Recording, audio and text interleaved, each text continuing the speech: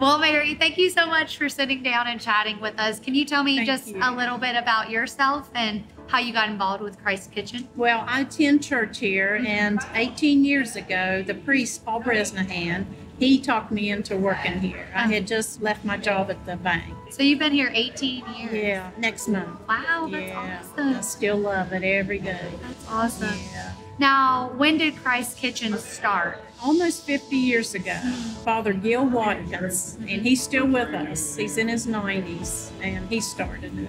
Wow, that's awesome. When he started it, what was his heart? Like, what is your all's kind of mission with Christ Kitchen? The mission, and also with all Episcopal churches, is usually to feed the hungry.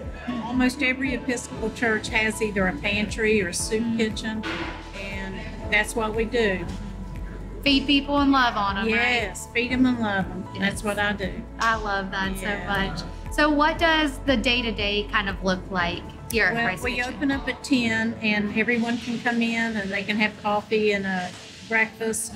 Then we have a hot lunch every day from 11:30 to 1. You've become really close to these Yeah, people. they're like my family, and some of them I've known for years. Really? Yeah, So but we have awesome. a lot of new people. Is there anything particular that like sticks out to you when you just think about Christ Kitchen and like a, maybe a really fun story? I'll just say this from my heart: what I've learned from the people here, uh, especially the most downtrodden people, if you treat them with respect, they treat you with respect. And they are the nicest people I've ever met. And if you give love, they give love. That's the biggest thing I've learned. I mean, just to even say hello and ask how they're doing makes a huge.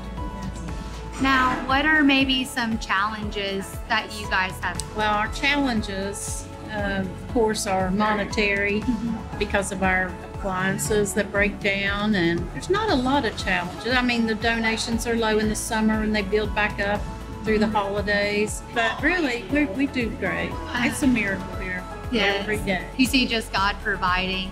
Everything I need comes through that door, mm-hmm. every single thing. I mean, we just marvel at it, all the volunteers.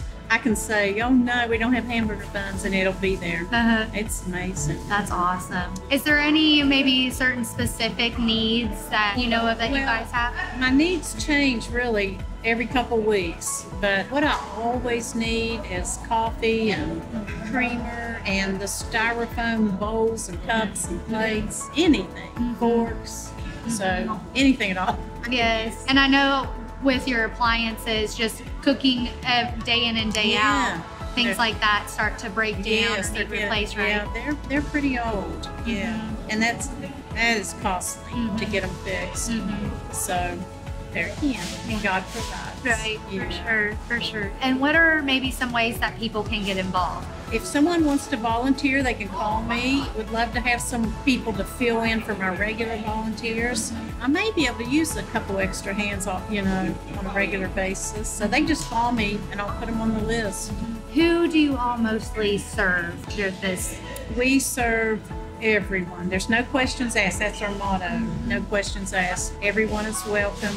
But right now, I mean, we have the elderly that live over here in the towers.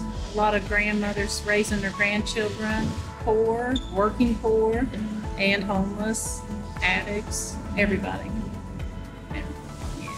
Love that. Well, Mary, thank you so much for sitting down and chatting with me. I Thank just you.